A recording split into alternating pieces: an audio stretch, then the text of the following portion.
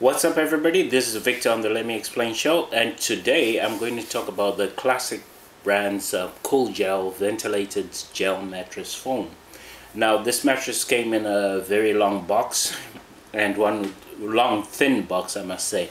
And one would think that a mattress wouldn't fit in there but um, these type of mattresses come um, compressed so that's why um, it was in a long thin box now unboxing it was pretty easy and um, as soon as I unwrapped it, as you can see in the video, it began to decompress and um, was in full, um, full form within minutes. Um, basically under five minutes uh, the mattress was fully formed. But they do recommend to give it some time to um, get fully decompressed so just bear that in mind when you do buy the mattress. Now do I like the mattress?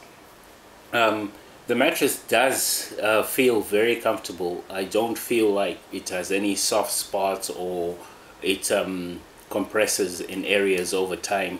I've had it for about seven months now, so I think I'm in a good position to speak on that. And would I recommend it? Yes, definitely. For the price point that I got it for and uh, for the ease of um, getting it going, I would definitely recommend this mattress by classic brands cold uh, and it's the cold gel ventilated gel mattress foam and this is for a 10.5 inch it's a 10.5 inch mattress for a queen bed so just bear that in mind when you do purchase. Um, this has been Victor on the Let Me Explain show. I'm gonna keep this one really short and brief.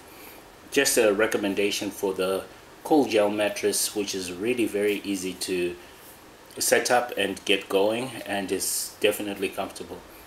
Have a great day